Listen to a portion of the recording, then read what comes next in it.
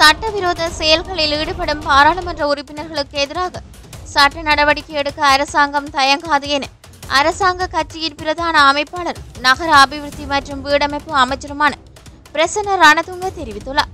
கடந்த காலங்களில் பேசப்பட்டு வந்த இவ்வாறான பாராளுமன்ற உறுப்பினர்கள் தொடர்பில் தேவையான நடவடிக்கைகள் மேற்கொள்ளப்பட்டு வருவதாக அவர் சுட்டிக்காட்டினார். மறைந்த ரெஜி ரணதுங்கவின் பதினைந்தாவது நினைவு தினத்தை முன்னிட்டு ஊடகம்பலையில் உள்ள அவரது நினைவிடத்தில் மலர் தூவி மரியாதை செலுத்தியதன் பின்னர் ஊடகவியலாளர் எழுப்பிய கேள்விக்கு பதிலளிக்கும் போதே அமைச்சர் மேற்கண்டவாறு குறிப்பிட்டார். வெற்றி பெறாத செயற்பாட்டாளர்கள் அரசாங்கத்துக்கு எதிராக மதவாதத்தையும் இனவாதத்தையும் தூண்ட முயற்சிப்பதாக அமைச்சர் மேலும் சுட்டிக்காட்டியுள்ளார்.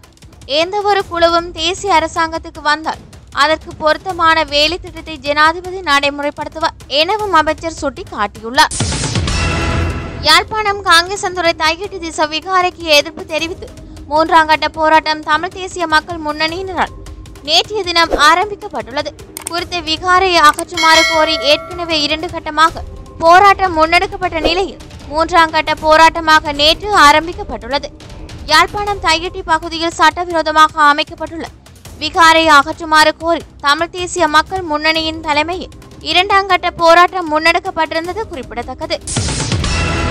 யுவதியை கடத்திச் சென்று துஷ்பிரயோகம் செய்த நால்வர். கண்டியில் புத்தர் சிலைக்கு அருகில் பதினெட்டு வயதான யுவதி ஒருவரை முச்சக்கர வண்டியில் வந்த நாலு பேர் கடத்திச் சென்று துஷ்பிரயோகம் செய்துள்ளனர். கடுகண்ணாவை பெத்தப்பட்டிய பகுதியில் வைத்து அவரை துஷ்பிரயோகம் செய்துள்ள நிலையில் அவர்கள் அங்கிருந்து தப்பிச் சென்றுள்ளதாக கடுகண்ணாவை போலீசார் தெரிவித்துள்ளனர். பாதிக்கப்பட்ட பெண் வைத்தியசாலையில் பரிசோதனைக்காக அனுமதிக்கப்பட்டுள்ளதாக குறிப்பிடப்படுகின்றது.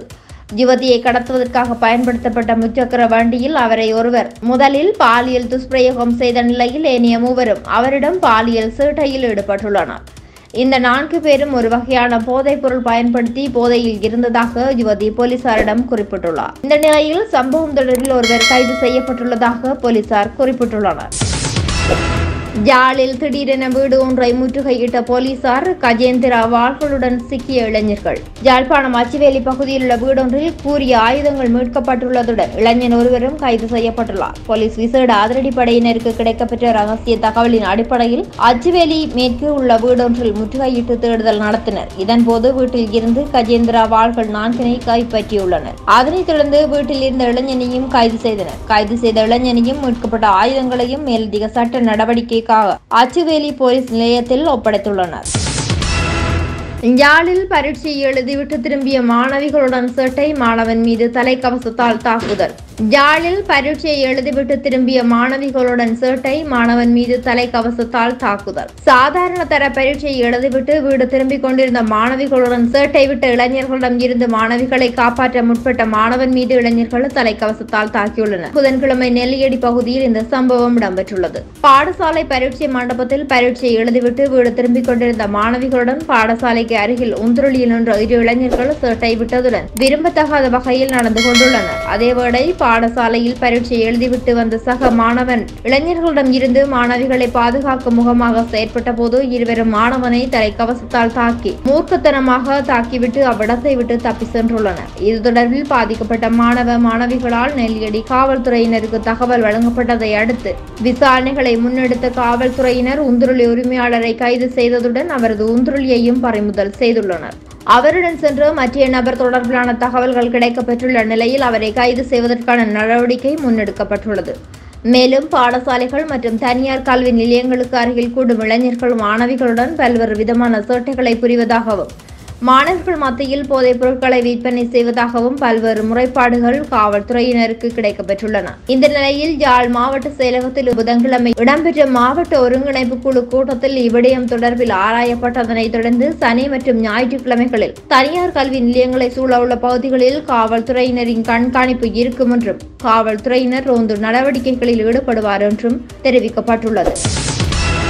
நள்ளிரவு முதல் எரிபொருள் விலையில் மாற்றம் ஏற்பட உள்ளதாக அமைச்சர் காஞ்சன விஜயசேகர் தெரிவித்துள்ளார். அதன் அடிப்படையில் தொன்னூற்றி இரண்டு ஒக்டேன் பெட்ரோலின் விலை பதினைந்து ரூபாவினால் குறைக்கப்பட உள்ளதுடன் அதன் புதிய விலை முன்னூற்றி எண்பத்தி ஐந்து ரூபாவாகும். அத்துடன் தொண்ணூற்றி அஞ்சு ஒக்டேன் பெட்ரோலின் விலை இருபது ரூபாவினால் அதிகரிக்கப்பட உள்ளதுடன் அதன் புதிய விலை முன்னூற்றி எண்பத்தி ஐந்து ரூபாவாகும். மேலும் சூப்பர் டீசலின் விலை பத்து ரூபாவினால் அதிகரிக்கப்பட்டுள்ளதுடன் அதன் புதிய விலை முன்னூற்றி நாற்பது ரூபாவாகும். இதேவேளை மண்ணெண்ணெய் விலை ஐம்பது ரூபாவினால் குறைக்கப்பட்டுள்ளதுடன் அதன் புதிய விலை இருநூற்றி நாற்பத்தி ஐந்து ரூபாவாகும். நடாசா எதிரி சூரியவின் பௌத்தத்துக்கு எதிரான கருத்துக்கள் தொடர்பிலான எஸ் எல் விஎல்ஓஜி யூடியூப்பின் உரிமையாளர் புருனே திவாகா சிஐடியினரால் கைது செய்யப்பட்டுள்ளார். நடாசா பௌத்தத்துக்கு எதிரான கருத்துக்களை வெளியிடுவதற்கு உதவினார் என்ற குற்றச்சாட்டின் அடிப்படையில் புருனோ திவாகர கைது செய்யப்பட்டுள்ளார். நடாசாவின் கருத்துக்கள் குறித்து புருனோ திவாகரவிடம் எட்டு மனத்தியாளங்கள் விசாரணை செய்த பின்னர் சிஐடியினர் அவரை கைது செய்துள்ளனர். உத்தியோகபூர்வ இல்லத்தில் தூக்கில் தொங்கிய நிலையில் சடலமாக காணப்பட்ட நீர்கொழும்பு பிரதேச செயலாளர். நீர்கொழும்பு பிரதேச செயலாளர் தனது உத்தியோகபூர்வ இல்லத்தில் மர்மமான முறையில் உயிரிழந்து காணப்பட்டார். ஐ எஸ் பெரேரா என்று நாற்பத்தி இரண்டு வயதுடைய திருமணமான நபரே இவ்வாறு உயிரிழந்துள்ளார். இன்று புதன்கிழமை காலை அவசர தேவைக்காக ஊழியர் ஒருவர் பிரதேச செயலாளரின் இல்லத்துக்கு சென்றபோதே அறையில் தூக்கில் தொங்கிய நிலையில் காணப்பட்டதாக போலீசாருக்கு தகவல் தெரிவித்துள்ளார். இந்த நிலையில் குறித்த மரணம் கொலையா அல்லது தற்கொலையா என்பது தொடர்பில் போலீசார் விசாரணைகளை ஆரம்பித்துள்ளனர். சம்பவம் தொடர்பான மேலதிக விசாரணைகளை நீர்கொழும்பு போலீசார் மேற்கொண்டு வருகின்றனர். நடாசா எந்தவொரு கத்தோலிக்க பாடசாலையின் பழைய மாணவியோ அல்லது எந்தவொரு கத்தோலிக்க பாடசாலையில் வைத்து கருத்து வெளியிடவோ இல்லை. அருட்தந்தை கெமினு டயஸ். பௌத்த மதத்தை அகௌரவப்படுத்தும் வகையிலான கருத்தை வெளியிட்ட நடாசா எதிரி சூரிய என்பவர் எந்தவொரு கத்தோலிக்க பாடசாலையொன்றின் பழைய மாணவி அல்ல எனவும் அவ்வாறான கருத்தை அவர் எந்தவொரு கத்தோலிக்க பாடசாலையில் வைத்தும் வெளியிடவில்லை என்றும் இவ்வாறு உண்மைக்கு புறம்பான தகவல்கள் வெளியிடுவதை தவிர்க்குமாறும் கத்தோலிக்க தனியார் பாடசாலையின் பொது முகாமையாளர் அருட்தந்தை கெமினு டயஸ் வெளியிட்டுள்ள ஊடக அறிக்கையில் தெரிவித்துள்ளார். கிழக்கு மாகாண ஆசிரியர் பற்றாக்குறைக்கு விரைவில் தீர்வு கல்வி அமைச்சர் உறுதி கிழக்கு மாகாண ஆசிரியர் பற்றாக்குறைக்கு விரைவில் தீர்ப்பு வழங்குவதாக கல்வி அமைச்சர் சுசில் பிரேமஜெயந்த கிழக்கு மாகாண ஆளுநர் செந்தில் தொண்டமானிடம் உறுதி அளித்துள்ளார். கல்வி அமைச்சில் நேற்று இடம்பெற்ற கலந்துரையாடலின் போதே இவ்வாறு தெரிவித்துள்ளார். கிழக்கு மாகாணத்தில் நான்காயிரத்தி இருநூறு ஆசிரியர் பற்றாக்குறை காணப்படுவதாகவும் அதற்கு நிரந்தர தீர்வு வழங்கப்பட வேண்டும் என மாகாண ஆளுநர் செந்தில் தொண்டமானினால் கல்வி அமைச்சரிடம் கோரிக்கை விடுக்கப்பட்டது. இந்த கோரிக்கையை ஏற்று ஆசிரியர் பற்றாக்குறையை நிவர்த்தி செய்வதாக கல்வி அமைச்சர் தெரிவித்துள்ளார். இதன் முதற்கட்டமாக மூன்று மாத கால பகுதிக்குள் கல்வியல் கல்லூரியில் இருந்து வெளியேறும் ஆசிரியர்களை கொண்டு பற்றாக்குறை உள்ள பாடசாலைகளுக்கு நியமனம் வழங்குவதாகவும் அவர் தெரிவித்துள்ளார். யாழில் தனியார் வகுப்புகளுக்கு போலீஸ் பாதுகாப்பு.